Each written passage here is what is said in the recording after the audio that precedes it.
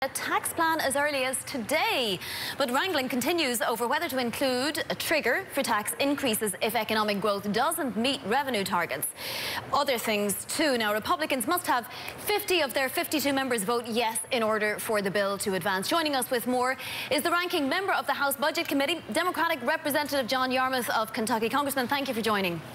Good morning, Vonnie. Good to be with you. Last time we spoke, you were concerned about transparency. Given that we might actually have a full Senate vote today and maybe even have the bill come out of Senate, has that concern abated for you? Well, I don't know how it could. Uh, this bill is actually still being drafted. Uh, they're making changes on the fly uh, to try and make sure that they have their 50 votes. I, I would venture to say there's not one Republican who really understands what this uh, what this legislation would do. Uh, you know, the, the, Treasury Department promised an analysis of uh, the plan of what it would do to the economy. curiously, they say they can't do that now. I suspect it's because they would find the same thing that virtually every other analysis has, and that is that there's no way that the tax cuts pay for themselves through uh, added growth. So uh, this bill is something that they're trying to sell basically the way Donald Trump did yesterday by saying, oh, this doesn't help me. This is going to be a beautiful Christmas present. He doesn't have the slightest idea, and I guarantee you the American people don't. You were watching this process. How viable is it that we get tax reform through this method, that things get added in order to get a vote here and a vote there, and suddenly the whole tax structure of the United States has changed. I know. I mean, that's, that's the astounding thing. This is a $5 trillion change in the economy. Uh, think about that. $5 trillion is what's being uh, uh, dealt with here. And again, without a single hearing, without any public discussion on the details, and again, without ver with very few people, if any, understanding how all these pieces fit together and how they would affect the economy. So uh, you know, I, I think they probably will be able to squeeze 50 votes out today. There's still considerable differences between the House and Senate versions, and they'd have to be worked out in conference. Whether they can work those out, uh, you know, hopefully we get to have some input. We haven't been uh, in, involved in any of the discussions so far. We've been totally shut out, we being the Democrats. Uh, and then they have to come back to both the House and the Senate to approve the one bill. I think the odds of that are still no better than 50-50. Congressman, how optimistic or pessimistic, it could be either, are you about any deficit hole that this legislation might create? Well, clearly it's going to create a deficit. I mean, the, the plan by its own admission creates a $1.4 trillion deficit over the next 10 years. If you add the uh, additional interest costs to that deficit, you're somewhere in the neighborhood of $2 trillion added to the debt over 10 years.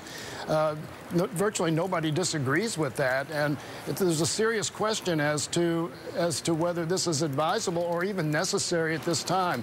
Uh, particularly when you get somebody like Goldman Sachs saying that they estimate that the total addition to GDP over 10 years will be less than 1%. Uh, that doesn't seem to be worth the, the price of a $2 trillion addition to the debt. Congressman Yarmuth, uh, I want to ask you how significant is the risk of a shutdown next month? I think it's a, there's a significant risk. Uh, you know, so far the Republicans uh, have basically said we're going to try to do this on our own, try to get come up with 218 votes. They haven't been able to do that since they took over the, the House in 2010. Uh, they've always relied on Democratic votes uh, because there's some Republicans who won't vote for any appropriations mm -hmm. bill. So I, I suspect, uh, you know, unless they're willing to sit down and have serious negotiations with us about our priorities, which in, include things like the CHIP program and Dreamers and, and the uh, cost sharing reductions for health care, then we're going to have a serious problem on, on, our side in providing enough votes for uh, any any funding measure to get through. So, you know, I don't think the risk. I still think it's better better than 50-50 chance that we won't shut the government down, but I certainly think it's a distinct possibility. Well, red line for you? Is it the CHIP program? Is it DACA? You know, is there something that you'd be willing to see a government shut down over? And, and do you have that leverage? Well, I don't, I don't think the, the Democratic caucus has not said there is a red line.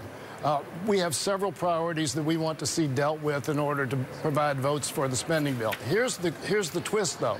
There are members of the Democratic caucus for whom a, an issue like the, uh, the Dreamers, you, you take somebody like Dick Durbin on the Senate side. He's already said that's a red line for him. So if there are 30 Democrats who have a red line with Dreamers, if there are another 25 that have a red line with something else, then it becomes problematic for us to get the, the votes that would be necessary to keep the government open. So uh, it's not just one issue, it's, it's several, and we're running out of time.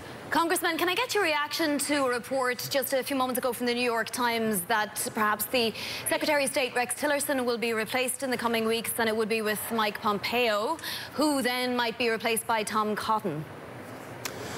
Well, I'm not so interested in who the person is. I'm interested in somebody who has respect for diplomacy and understanding of the need to fill many of the vacant posts in our, with the, where we're losing career diplomats right and left.